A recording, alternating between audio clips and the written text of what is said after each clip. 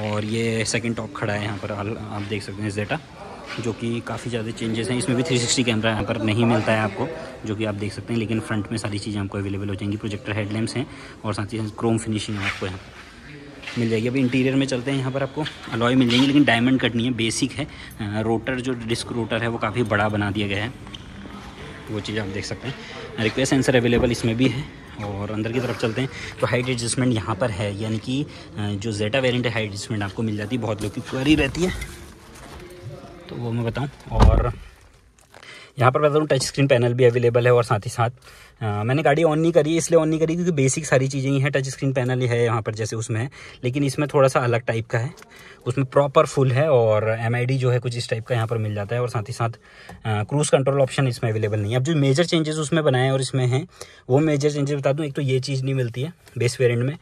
ये चीज़ नहीं मिलेगी बेस वेरियंट में।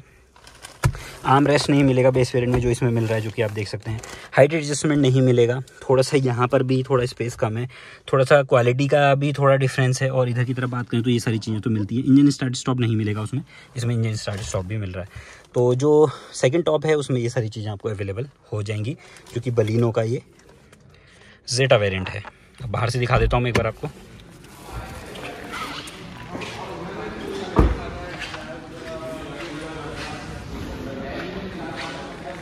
ये बेस वेरिएंट जेटा वेरिएंट ये बेस क्योंकि आप देख सकते हैं सिग्मा के अंदर और ये टॉप ऑफ़ द लाइन यानी कि अल्फ़ा वेरिएंट ये चीज़ है।